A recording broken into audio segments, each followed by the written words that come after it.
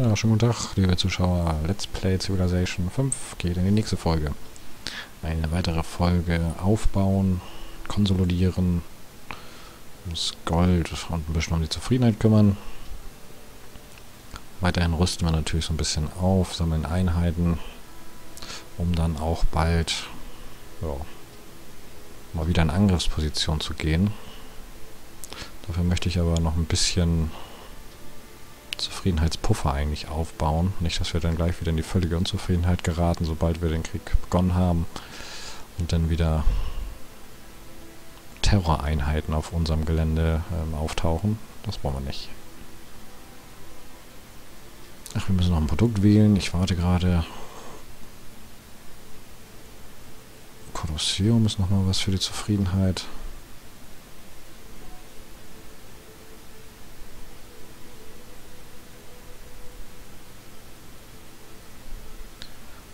So, das ist ein bisschen zusammengestaucht, weil die hier, glaube ich, kürzer geworden sind, die ganzen Zahlen. Ich weiß es gar nicht. Warum das jetzt nicht mehr so überlappt.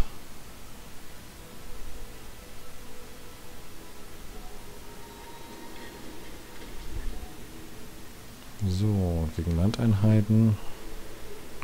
So, er möchte lieber, dass wir erst mit dem spielen. Oder schießen.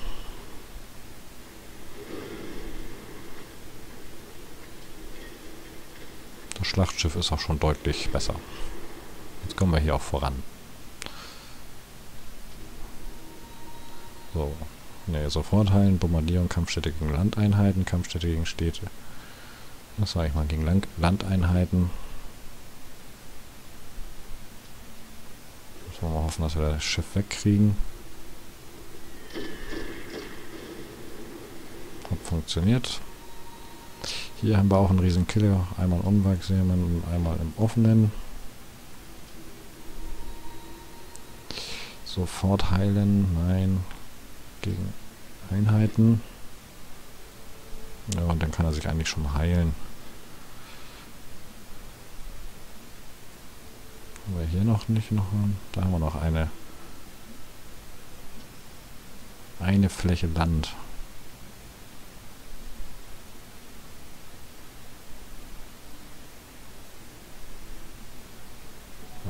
Wir geht mir erstmal wieder hier ins eigene Land zurück.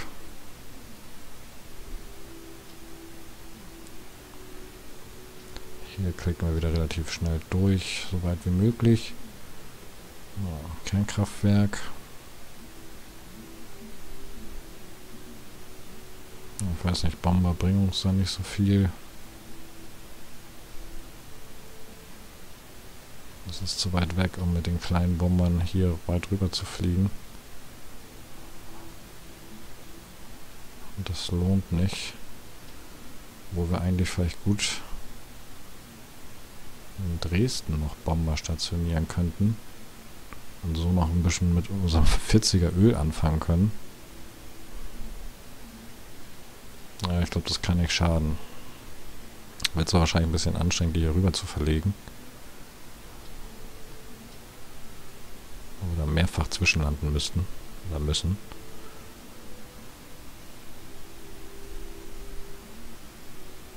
Ja, eigentlich haben wir hier genug Schiffe, ne? Also es ist schon echt übertrieben viel fast.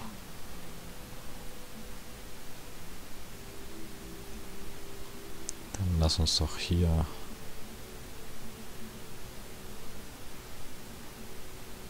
auch noch ein paar Bomber bauen. Aber bis dahin müssten sie ja kommen. Und wenn wir wieder Aluminium haben, können wir sie updaten. Aber dann haben wir natürlich ein Öl verschwendet. Na, hm, das Updaten kostet ein bisschen Gold, was wir dann hinkriegen. Das andere kriegen wir ja immer nicht so gut hin. Seehafen. Dann mal weiter mit Bibliothek. Na, es dauert mal eine Runde. Eine Runde ist ja immer blöd jetzt. So viel Regeln kommen wir ja wirklich gar nicht so gut voran.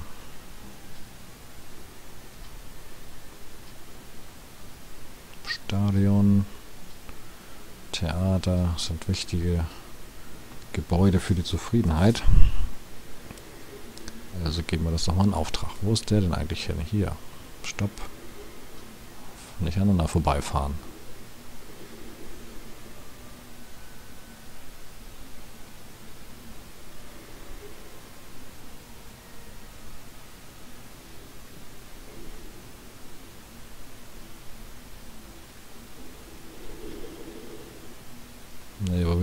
Eigentlich hin? Wir haben hier gar keine Einheit mehr.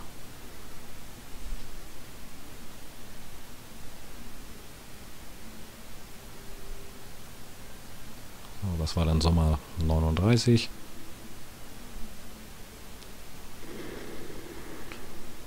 Oh, minus 2. In der Stadt Hamburg wurde ein großer Händler geboren.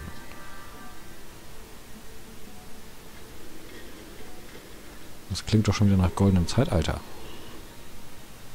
Haben wir bisher auch noch nicht so oft gehabt. Wird ja mal wieder Zeit.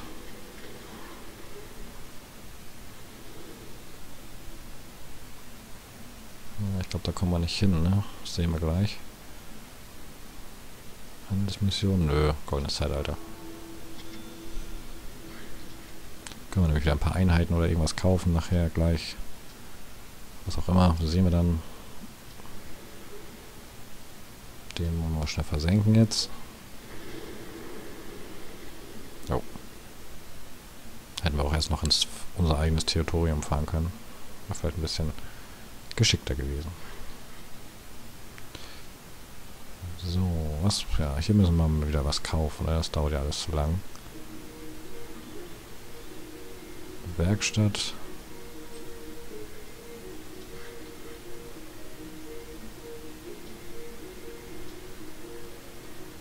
Ein Aquädukt. Okay. Weiter geht's. Mit Hannover. Ja, was macht hier bitte noch Sinn? Hier unten. Ein Aquädukt macht noch Sinn.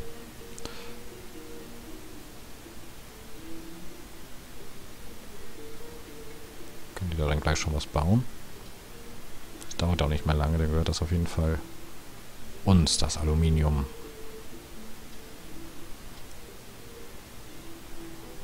Leider kommt hier irgendwie Aluminium bei uns deutlich weniger vor als Uran. Uran. Uran haben wir genug. Aluminium nicht. Oder ich sollte einfach mehr Atomraketen bauen und das dann relativ schnell beenden, das ganze Spiel. Ja, könnt ihr mal Vorschläge machen. Könnt ihr mal Kommentare hinterlassen. Ich weiß auch nicht genau, wann ihr die Folge seht, ob ich da dann noch drauf eingehen kann, bevor die letzte Folge aufgenommen wird. Kommt so ein bisschen drauf an, wie lange sich das hier hinzieht. Unbiegsames Gelände und offenes Gelände ist ja immer unser Standard hier. Noch haben wir kein Aluminium gegen so Kampfstärke bei einer Luftraumsäuberung und Abfang feindlicher Flugzeuge.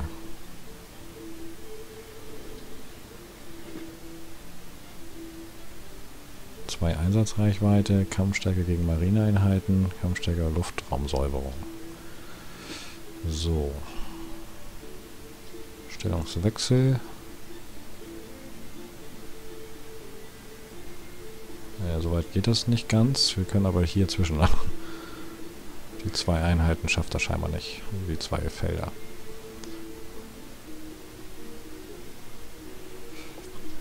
Hm, wir kaufen das einfach mal. Damit die schon mal loslegen können. So, du musst ins eigene Gewässer fahren und dich ein bisschen regenerieren. Du musst in Bereitschaft bleiben. Das kostet nichts weiter. Dann können wir das hier doch eigentlich auch machen. Hm, Funkturm. Naja, wir haben... Das bringt ja nichts. Meine, naja, Lenkraketen brauche ich, will ich nicht. Bautrupp bringt mir jetzt ja auch nichts. Bomber könnten wir noch bauen. Fünf Runden.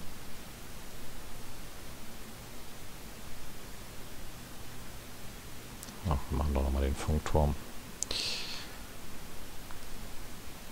So, könnt ihr soweit angreifen? Ne, können die natürlich nicht. Wir können die mal darüber fliegen. Die haben echt keine Reichweite. Die Bomber. So, Kampfroboter. Ich glaube, da ewig bis der hier sein wird wahrscheinlich. Neun Runden oder vier Jahre, viereinhalb Jahre oder so. Aber ich denke, vorher werden wir auch noch gar nicht. In Angriff gehen. Ich weiß es noch nicht genau. Dann könnten wir hier noch einen bauen. Vier Runden. Wir haben ja noch Uran.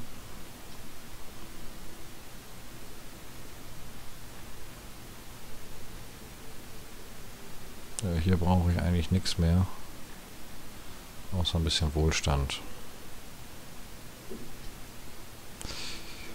Ähm, hier haben wir noch eine Menge zur Auswahl.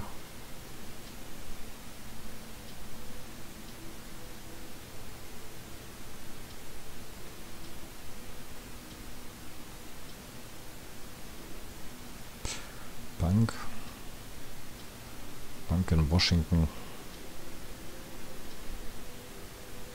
Wahnsinn, das viele Städte. Echt ein großes Volk. Wie viele Einwohner haben wir eigentlich mittlerweile? Gute Frage, oder? Sollen wir gleich mal gucken. Hier können wir das ja gucken. 110 Millionen Einwohner. Überall Erster, nur in der Zufriedenheit sind wir Letzter. Wir sind aber gar nicht so übermäßig stark. Ne? Also 684.000 haben wir. Durchschnittlich sind es natürlich 500 und der letzte sind 300. Also werden die anderen auch um die 400, 450 haben. Hätte ich ein bisschen schwächer erwartet. Der kann nicht so weit. Kann er denn da hinfahren? Nee, gar nicht. Ja, dann bringt mir der hier nichts. Kannst du wieder zurückschippern. Eine altbekannte Wirkungsstätte.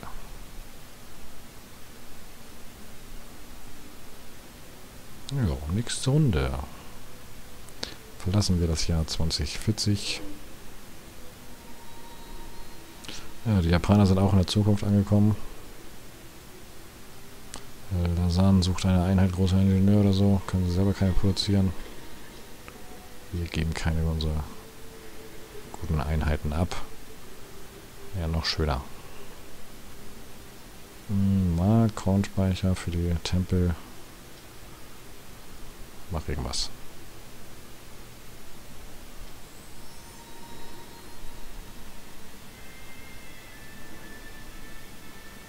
Ah, die würden sich meinen großen Ingenieur freuen. Ich würde mich auch über... Aha, jetzt auf... Oh, jetzt habe ich das eine Schiff weggeschickt.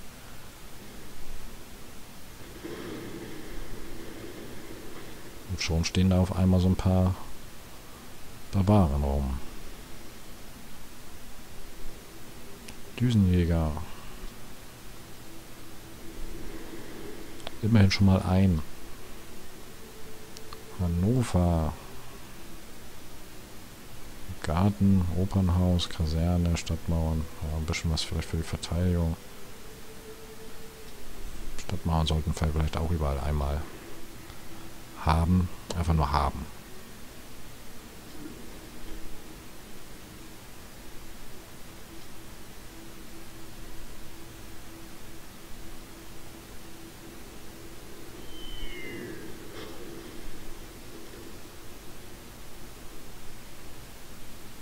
Das ist echt entspanntes. Hier, Erfahrung sammeln. Hier können wir nochmal wieder was Neues wählen. Einen Hafen haben wir hier noch nicht, ein Stadion vielleicht. Hier nochmal ein Tempel. Hier war noch ein Bomber, der gerne einen Einsatz fliegen möchte.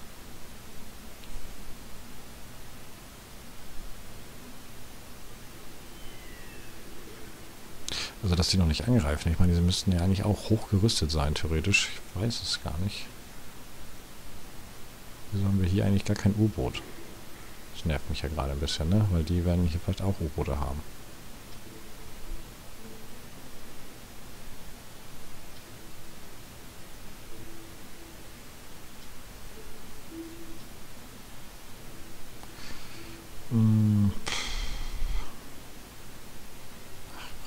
nichts mehr.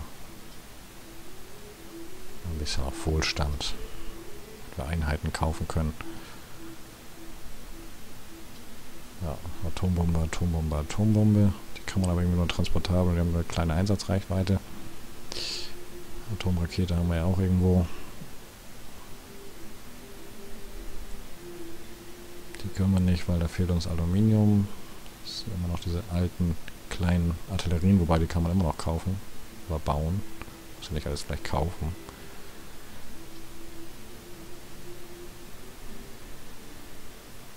Hier haben wir noch eine ganze Menge, würde ich gerade mal sehen. Schmiede, fangen wir damit mal an. Tempel. Die sind noch nicht so weit entwickelt hier. Hm, Börse, Fabrik, Hafen, Leuchtturm. So, was macht denn eigentlich unsere Aluminiumproduktion? Wir müssen doch jetzt mal langsam dieses ganze Aluminium gut geschrieben bekommen, was wir hier unten haben. Damit wir weiter Düsenjäger brauchen wir eben noch und ein paar Bomber. Und dann sind wir eigentlich so weit, dass wir in die letzten, in die vorletzte, alles entscheidende Schlacht ziehen werden. Ja, das erledigen wir jetzt schnell mal. So.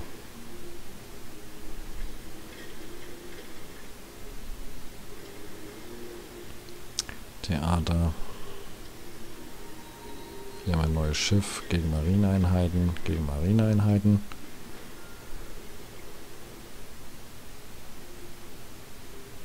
Da haben wir ein U-Boot. Also nicht wir, sondern der Gegner. Und den Rest ja auch hier. Fliegen wir auch mal schnell. Jetzt können die mal hier hinfahren und das Lager in der nächsten Runde einnehmen. So, was wollen wir als nächstes forschen? Da bleibt nur noch Zukunfts Zukunftstechnologie.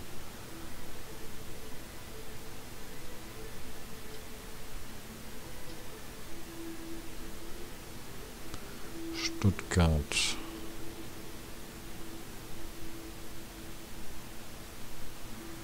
Ich möchte noch ein paar U-Boote haben. Atom-U-Boot braucht auch Aluminium. Warum braucht das nicht Atom? Also hier Uran. Haben wir ein U-Boot. Gehen wir in Bereitschaft. Ähm, machen wir nix.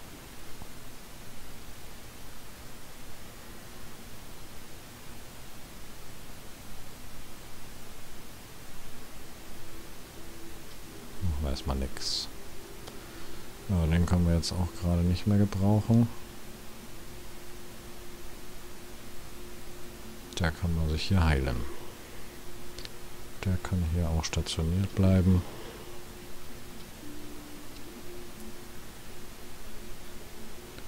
Hier fehlt noch so einiges. Zufriedenheit haben wir 10 gerade. Achso, die bauen immer noch, deswegen haben wir es noch nicht. Sind ja dann noch ein bisschen langsamer als gedacht. Unser Bautrupp da.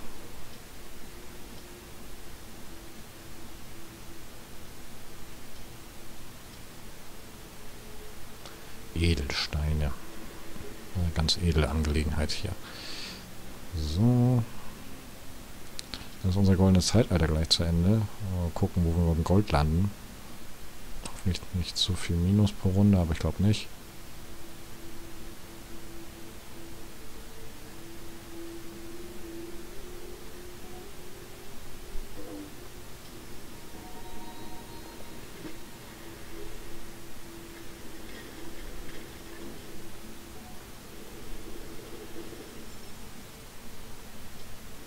Oh, haben wir schon Gold gekriegt. Und einen Siedler.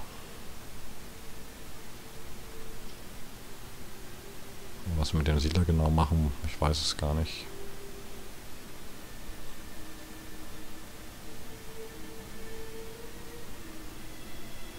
U-Boot dauert hier nur vier Runden.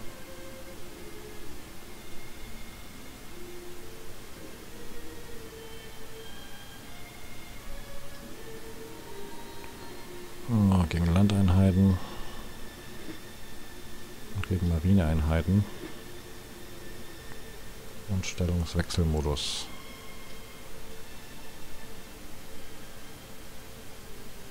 Können Bomber auf Flugzeugträger?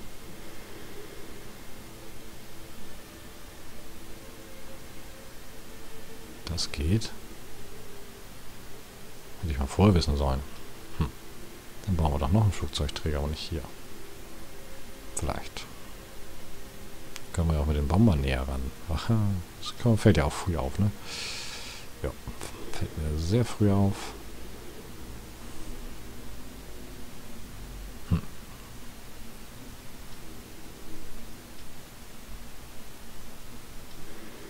Dann können wir ja doch mal...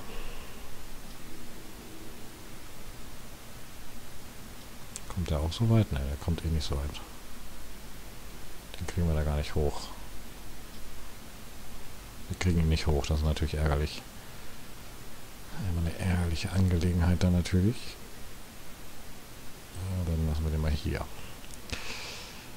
Produktion Stadion. Dauert ein bisschen. Müssen wir dann nicht mehr jede Runde was machen. Und, ja, minus 49 machen wir jetzt. Geht ja noch, würde ich sagen. Die stehen eigentlich ziemlich nutzlos hier rum. Die können wir hier rüber. Hier wollen wir auch so eine kleine Einheitstruppe sammeln, um im Zweifel auch hier gleich angehen zu können. Wir kriegen, weil sonst äh, ist das eh zu viel für eine Seite. Naja, man sieht ja hier, wie viele Einheiten wir hier schon gesammelt haben. Hier haben wir eine Atomrakete.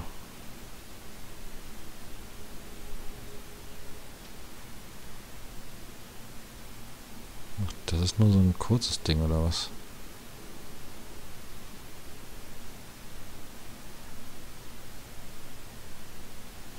Oh, ich weiß nicht. Drück mal lieber Escape. Oh, zurück zum Spiel. Ähm, hole ich lieber aus, bevor wir uns selber abfeuern. Wir haben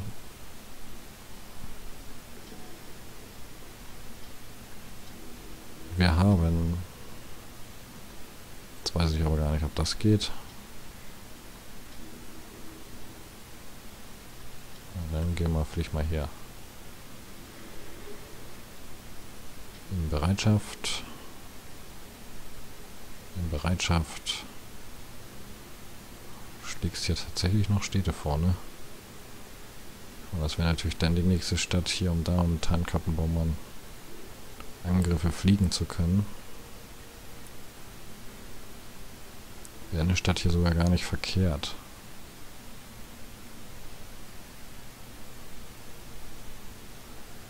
Ich mache erstmal nichts.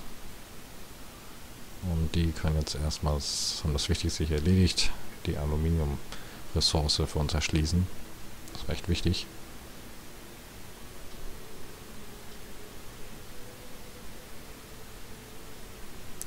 Hamburg. Ja, ich würde ja sagen, wir müssen auch noch das letzte Aluminium unter die Leute bringen und brauchen noch ein paar Tarnkappenbomber. So, Köln hat die Atomrakete beendet und baut jetzt noch einen Düsenjäger. Hannover hat die Uni gebaut. Das Wasserkraftwerk macht ja nochmal Sinn. So, macht hier noch Sinn. Stadion. Wasserkraft, ne, erstmal Windmühlen. Wassermühle. Ein bisschen erneuerbare Energie nutzen.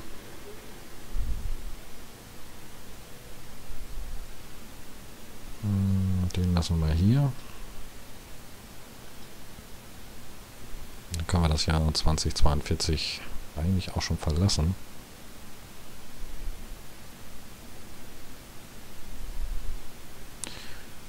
Und dann werden wir mal...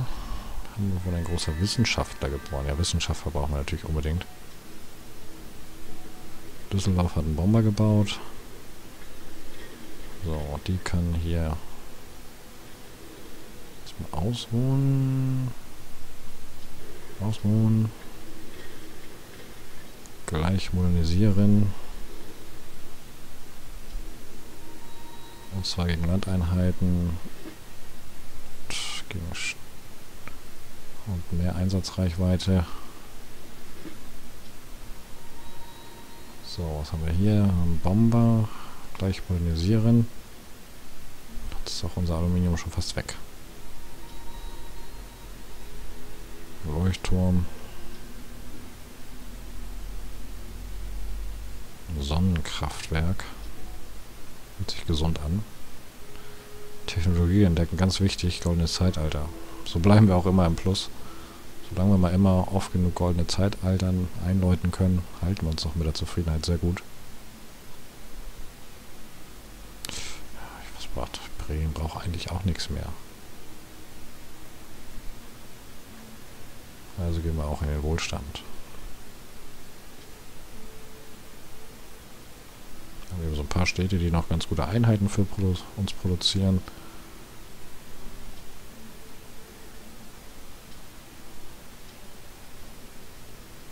Hier tun wir nochmal eine ganze Menge immer für die Zufriedenheit.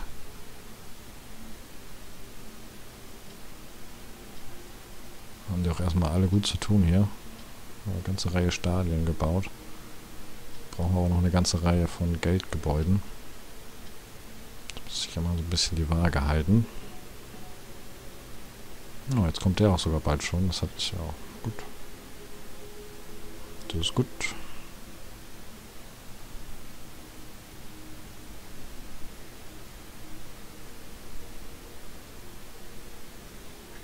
Sechs Schiffe haben wir hier immerhin. Auch keine schlechte Flotte, plus die fünf Flug äh, Tarnkappenbomber. Ist das schon hier auch eine Macht.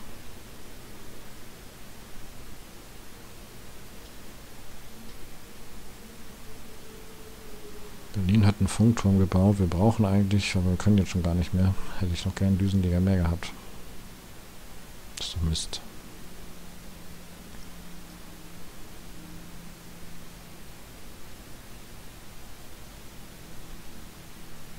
Bauen wir noch einen Flugzeugträger. Den wir mit Bomber bestücken. Und dann sind wir sowas von gut gerüstet. Hat äh, vielleicht ein paar Zerstörer noch, ne? Das sind ja fast alle Schlachtschiffe hier.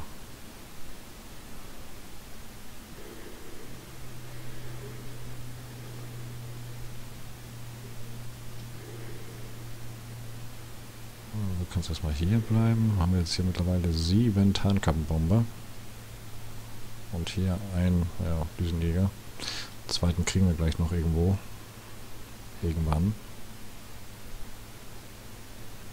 Ja, das bringt doch auch alles nichts. Wasserkraftwerk. Ach so, das, ah, das Wasserkraftwerk, was wir hinten gebaut haben, das kostet Aluminium. Blöd. Habe ich gar nicht drauf geachtet. Nein, kann passieren. Lieber Fabrik, hauen wir mal was von der Kohle raus. Also von der Kohle. Aber gut, ich würde sagen, das war's für diese Runde. Wir haben uns weiter aufgerüstet.